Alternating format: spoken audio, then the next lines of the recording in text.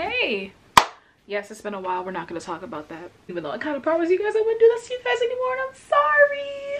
So, welcome back to my channel. For those who don't know, I am Liz here and I also go by Rae. It is time for a wrap up for March and we're going to ignore that this is really late. I know that today is April 10th and I'm filming. I'll wrap up for March. But um, it is what it is. At least we do have a wrap up. At least I got a couple of books in order to do a wrap up. I do um, want to admit though that this month, April, feels a lot stronger as far as reading.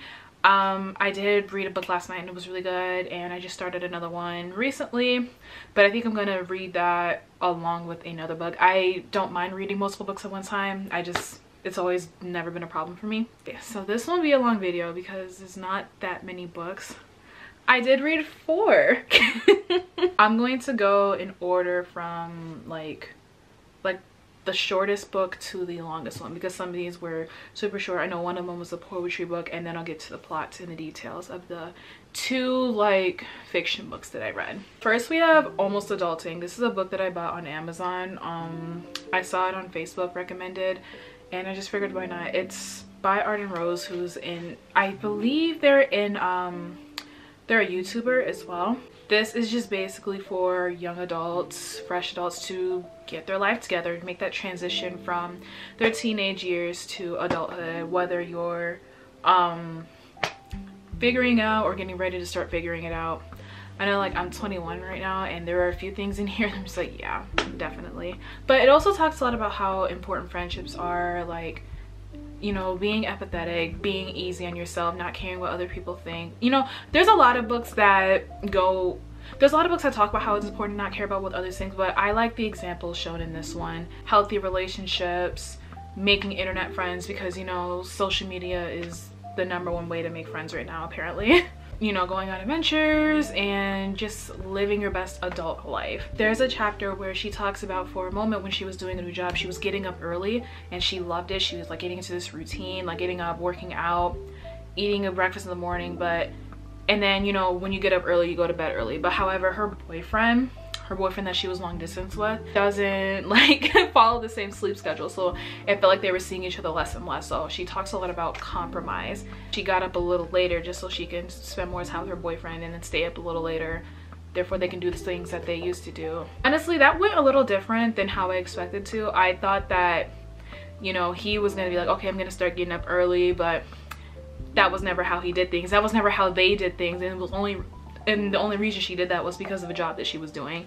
And you know she just built that habit. So next we have pillow thoughts 4 stitching the soul. And this is the final book of the pillow thoughts series by courtney peppernell i mentioned this in another video but part one um it doesn't like have like a specific like target area. Part two is called healing the heart part three is called mending the mind and then part four is called stitching the soul.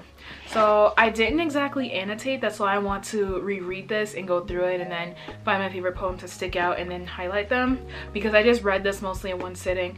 Um even though i can say that part three was probably my favorite um i did like this one too. Overall i want to give this like um like a three out of five. And almost adulting i almost forgot i want to give like a 3.5 out of five just because there's so much humor in here and stuff like that. It's a very quick read too. I think it's like a little over 200 pages.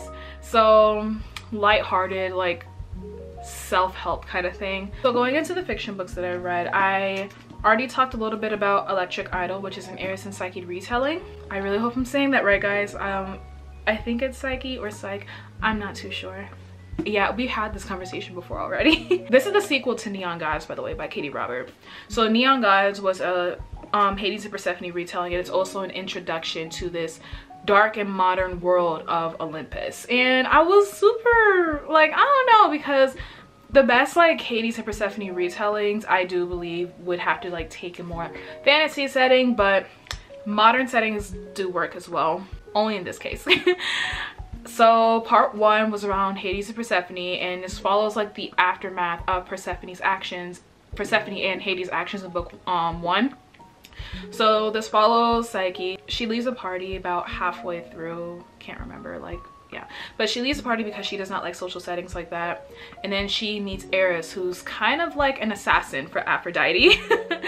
So he's bleeding a bit and she patches him up and then a photo snaps and they are cut. And one thing if you are a part of the 13 then you're very popular in this modern city. So if you are caught doing anything it's going to get broadcasted it's going to go viral and you could potentially be in trouble depending on what it is. So this picture of Eros and Psyche goes viral because he's just like putting on his he's just putting on his shirt and she's like I don't know like fixing his shirt or something like that but it looks wrong. Like they just walked out of a bathroom and it looks wrong. So it goes viral and aphrodite she, she doesn't like psyche mainly because she doesn't like demeter which is psyche's mom. And so that gets that spirals and she tells Eros, I need you to go and kill this girl. So Eros is like, wait a minute, this, this it it, it, unfolded so fast. I guys i was like wait we can't even get a hello how's your day? Maybe um a little bit more backstory? Just go kill her. Bring me her heart. That was crazy. But she's always been jealous of psyche because she's a little bit more popular on instagram. She's well loved. And demeter she's always been known to get things done in her family and in 13 so aphrodite just wants a one up and to just shut demeter up for good whatever. So she sends Eros kill him to kill her. However Eros takes one look at psyche and says i can't do it and the only way out of that predicament was for Eros and Psyche to get married. So arranged marriage, not arranged marriage, but um marriage of convenience. And I like marriage of convenience. This was also pretty decent as well. I liked it better than the first book. So now they need to navigate this marriage, um, fake date, make everybody seem like they're happy and in love together while also kind of fighting attraction. well, Eros knew from the jump, like, I gotta have her. And, you know, Psyche was like, mm, not too much, not too much. I'm not gonna lie, the drama in this book was so much better than the drama in the first book. It definitely was a lot more entertaining. And you also got a little bit more information about the 13 a little bit more of their background and I think I don't know if there was a map in Neon Gods but in this one there is a map so it makes a little bit more sense like how to map out this city in your mind. Um, Hades and Persephone story is nice but I just felt like the plot was written around the smut and this one was a little bit different. There was still a ton of smut in here. Like guys, there's so much pink in this book. It's crazy. There felt like a bit more plot, a bit more depth from the characters too. The way this left off, I'm really curious about another sister because like what are you doing? Come on now. Because there's four sisters in Demeter's um, household. Demeter has four daughters um, Persephone, Psyche, Callisto, and Eurydice. So overall, I gave this a 4 out of 5 because the vibes, like, guys, that is probably the highest ranked book I had in March. Last but not least, we have see you yesterday yeah guys i was a little let down by this unfortunately this is by the same author who wrote today tonight tomorrow and i loved that book guys so i went into this book thinking i was gonna get something similar and while it was cute while it did have a good happy ending while i did laugh a little bit and had a good time i just wasn't like pulled and sucked in the way I was with Today Tonight Tomorrow. So this follows Barrett Bloom. She is 18, really traumatized. God, her backstory is so tragic. I I almost did cry because kids are the worst. High school is terrible. She goes to this college and she's really excited because she wants to start over. She doesn't want to be the person she was in high school. She um, writes a lot. She wants to be a journalist, so she majors in journalism. September 21st, that's what it starts, September 21st, and it's her very first day. She is ready to make this great first impression, but she completely messes up. It's bad. Um, she got mocked in her physics class by a know-it-all um, is partnered with um, her ex-best friend who still very much hates her from high school and her that's her roommate. Her ex-best friend is her roommate. I'm all over the place. Oh my goodness. She bombed her interview for the school's paper. It it, it, it was hard to read. It was very hard to read. I'm like girl just stop. Just stop. And then she goes to a party to try to like unwind a little bit and she even though she wasn't invited and she ends up burning a frat. She she ends up burning a frat house. It's on fire. And then she gets locked out of her dorm room so she falls asleep in the common room. And then when she wakes up the next day, it again it starts. The day started over. Wednesday, September 21st. So that's when she finds out that she is stuck in time. And then when she goes back to her physics class and she meets the guy who kind of um, was rude to her, he notices that she's stuck and she knows that notices that he's stuck but she, he has been stuck there for months. While she had just gotten stuck he'd been stuck there for months and i i couldn't imagine it honestly.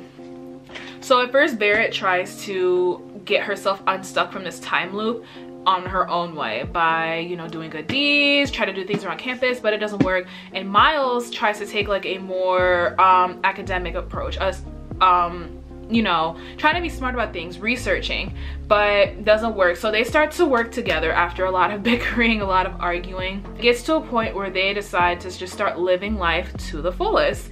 They're like we're stuck in time so why don't we just do whatever we want? And they do and they learn a lot more about each other. They slowly follow up. This is such a slow slow burn and i was getting bored at times but there are so many sweet heartfelt moments um, like miles with his family uh yeah miles that's his name. And then barrett just kind of like slowly working through her trauma. I think she goes through all stages of grief um but there are some moments where i'm just like okay you definitely did not have to do that. Like but you know when you're an 18 year old and you're very sad and you hate everybody i guess that makes sense. So i feel like this book probably could have been like a hundred page pages shorter. Like i understand there's a whole bunch of details but yeah and i was a little lost because i don't really know much about physics or quantum physics. There's also some cute lessons um in here like about intimacy and trust and things like that. The ending was cute. I gave this a three out of five. I'll write like a more detailed review later um because i finished this literally like right the end of march. I still haven't had time to write um a full review because it just i'm still trying to figure out like what about the book didn't make it a four? Like i'm trying to go through it. I did annotate it so i'm going through like each part slowly and just seeing like what went wrong from there. So if you like this video be sure to hit that like and subscribe button. As always my other socials will be in that description box below. Have a great day morning night evening wherever you are and i love you